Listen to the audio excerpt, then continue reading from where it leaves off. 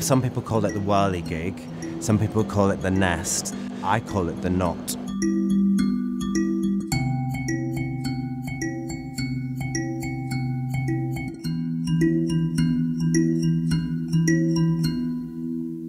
It's reminiscent of a shipwreck, it's reminiscent of a time machine, of a tornado. It's all those things.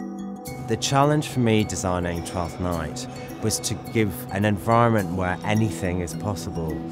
What the space allows you to do is to be very free how you do that and to do it in a non naturalistic way. Interestingly, Shakespeare is very selective about the information he gives you about where you are. You learn through the people who walk into a space and what they choose to tell you. And I think it's really important not to over elaborate and fill in the gaps that Shakespeare has chosen to leave out.